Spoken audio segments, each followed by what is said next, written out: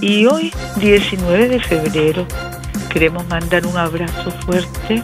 de parte de todo nuestro pueblo y en particular de las mujeres nicaragüenses a la admirada compañera Cristina Fernández, que hoy cumple como vicepresidenta del pueblo argentino 67 años. Nuestro cariño, nuestro respeto, nuestra invariable admiración a Cristina, líder de ese gran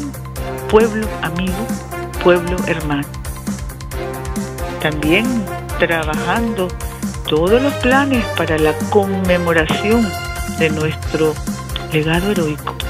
nuestro patrimonio heroico. 21 de febrero, 86 aniversario del tránsito a la inmortalidad del padre de la Revolución Popular Sandinista, nuestro general de mujeres y hombres libres. Y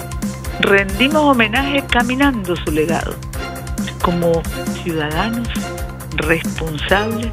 que reconocemos que la patria, la patria libre, es posible con el amor de todos y con el buen corazón de todos. Nuestro comandante Daniel ha instruido a nuestra Policía Nacional también atender con esmero y prioridad todas las denuncias de las mujeres que vivan cualquier forma de irrespeto, de acoso o agresión en cualquier hora del día. Y particularmente hemos hecho el llamado a más patrullaje a las horas en que sabemos que hombres y mujeres, mujeres y hombres salen a las calles, a los parques, a hacer prácticas de ejercicio físico, pero además que estemos siempre pendientes